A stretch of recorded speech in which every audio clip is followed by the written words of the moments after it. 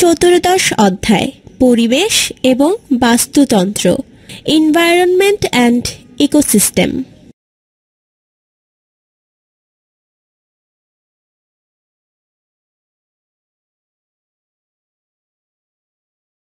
প্রাকৃতিক পরিবেশে দুই ধরনের বাস্তুতন্ত্র রয়েছে, স্থলজ, জলজ। বিস্তারিত জানতে নিচের বাটনগুলোতে ক্লিক করি। স্থলজ বাস্তুতন্ত্র, জলজ বাস্তুতন্ত্র। স্থলজ বাস্তুতন্ত্র বিভিন্ন ধরনের হতে পারে। বনভূমির বাস্তুতন্ত্র, মরুভূমির বাস্তুতন্ত্র, মেরু অঞ্চলের বাস্তুতন্ত্র।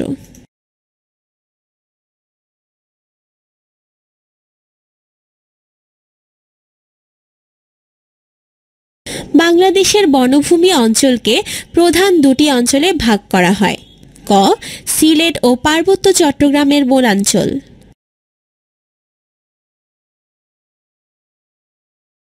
খ, খুলনার সমুদ্র উপকূলবর্তী সুন্দরবন অঞ্চল। সুন্দরবনের বনভূমি অন্যান্য অঞ্চলের বনভূমি থেকে আলাদা বৈশিষ্ট্যের। জোয়ার ভাটার কারণে এই অঞ্চলের মাটির লবণাক্ততা বেশি। তাই লবণাক্ত পানি সহ্য করার ক্ষমতা সম্পন্ন উদ্ভিদই এই বনাঞ্চলে জন্মে।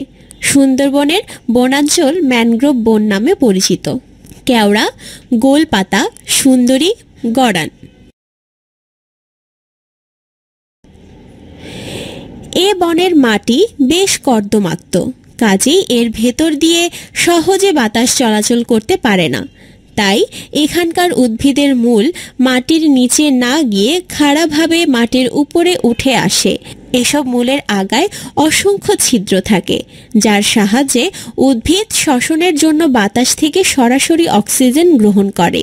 এ বনের উল্লেখযোগ্য উদ্ভিদ হল সুন্দরী গড়ান গেওয়া কেওড়া, গোলপাতা ইত্যাদি।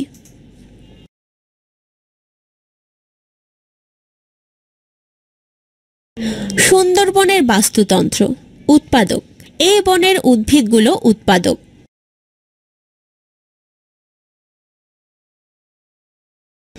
প্রথম স্তরের খাদক। পোকামাকড়, পাখি, মুরগি, হরিণ এ বনের প্রথম স্তরের খাদক।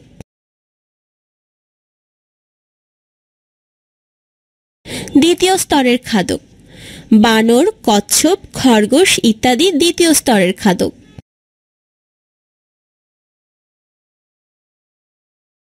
তৃতীয় স্তরের খাদক।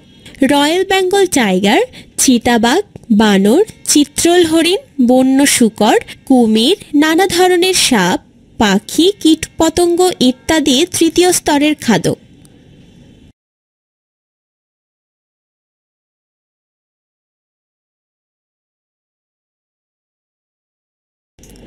জলজ বাস্তুতন্ত্র প্রধানত তিন ধরনের।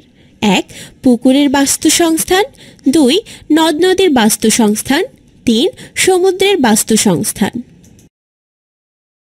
পুকুরের বাস্তুসংস্থান।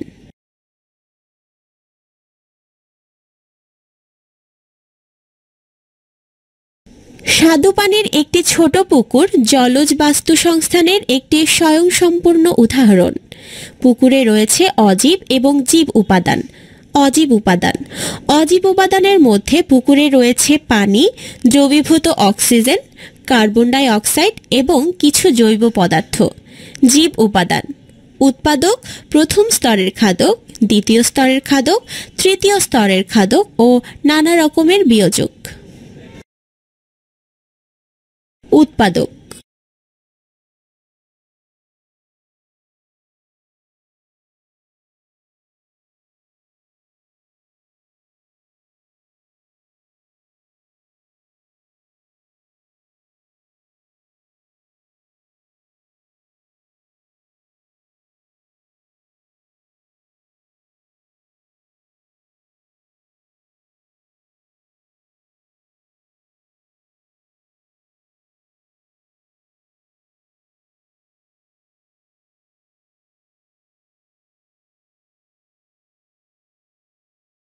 প্রথম স্তরের খাদক।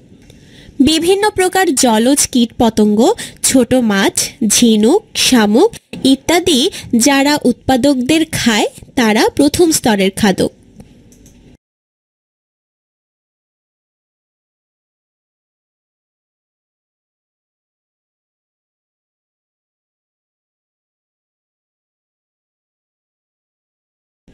দ্বিতীয় স্তরের খাদক। একটু বড় মাছ ব্যাং ইত্যাদি প্রথম স্তরের খাদককে খায়। এরা দ্বিতীয় স্তরের খাদক।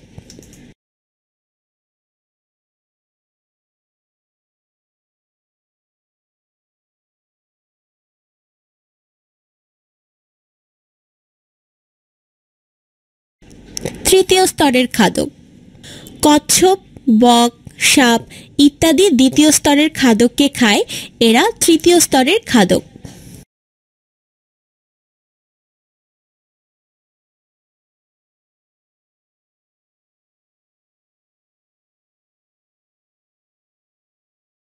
বিয়োজক।